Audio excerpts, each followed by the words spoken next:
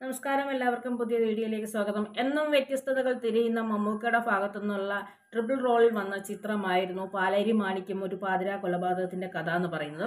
ആ കൊല്ലത്തെ സംസ്ഥാന ചലച്ചിത്ര അവാർഡ് ലഭിച്ചത് മമ്മൂക്കയ്ക്കും അതിൽ തന്നെ അഭിനയിച്ച ശ്വേതാ മേനോനുമായിരുന്നു മികച്ച നടിയായും തിരഞ്ഞെടുത്തത്.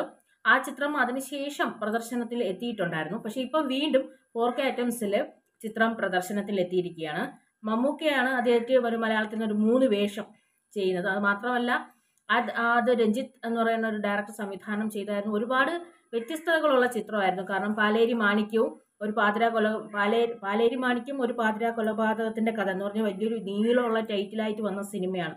അപ്പോൾ ആ അതിനകത്ത് സിനിമ കണ്ടു കഴിഞ്ഞ എല്ലാവർക്കും അറിയാം മാണിക്യത്തെയും മാണിക്യത്തിനെ വിവാഹം കഴിച്ചതിന്റെയും ഭർത്താവിനെയും മമ്മൂക്ക വളരെ ഞെട്ടിച്ച് മൂന്ന് വേഷങ്ങൾ. ഒരിക്കലും നമുക്ക് മനസ്സിലാക്കാൻ പറ്റാത്ത തരത്തിലുള്ള രൂക്ഷമായ ക്രൂരമായ വേഷം കൈകാര്യം ചെയ്ത മൂന്ന് ക്യാരക്ടർ അതിൽ ഒന്ന് സാധാരണ വേഷമാണെങ്കിൽ മറ്റേ രണ്ട് വേഷങ്ങളും വളരെയധികം രൂക്ഷമായ ക്യാരക്ടേഴ്സ് ആയിരുന്നു. നമുക്കൊരിക്കലും നമ്മളെ കൊണ്ട് എന്താണ് മമ്മൂക്ക് ഇത്രയൊക്കെ ചെയ്യാൻ കഴിയുമോ എന്ന് തോന്നിയ ഒരു ചിത്രമായിരുന്നു അന്ന്. അതിനുശേഷം വീണ്ടും ചിത്രങ്ങൾ സംസ്ഥാന ചലച്ചിത്രത്തിൽ അവാർഡ് സമയത്ത് തിരഞ്ഞെടുത്തു.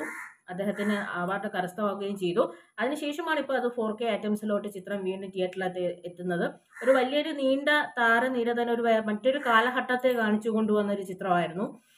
മമ്മൂക്ക മൈഥിലി അതുപോലെ തന്നെ ശ്വേതാമേനോൻ സുരേഷ് കൃഷ്ണ സിദ്ദിഖ എന്ന് പറഞ്ഞ ഒരുപാട് താരനിരകൾ ആ ചിത്രത്തിനകത്തുണ്ടായിരുന്നു. ആ ചിത്രമാണ് ഇപ്പോൾ വീണ്ടും തിയേറ്ററിലേക്ക് പ്രദർശനത്തിന് എത്തുന്നത് ചിത്രത്തിന് വലിയ സ്വീകാര്യത തന്നെയാണ് കിട്ടിയിരിക്കുന്നത്. കാര്യം കഴിഞ്ഞ മാസം തന്നെ ഇത് ചിത്രം വരുമെന്ന് പറഞ്ഞ് കാത്തിരുന്നു. പക്ഷേ പിന്നെ തീയതികൾ മാറ്റി. അപ്പോൾ വലിയൊരു സ്വീകരണം തന്നെയാണ് അദ്ദേഹത്തിന്റെ ചിത്രങ്ങൾക്ക് ഇപ്പോൾ ലഭിച്ചുകൊണ്ടേയിരിക്കുന്നത്.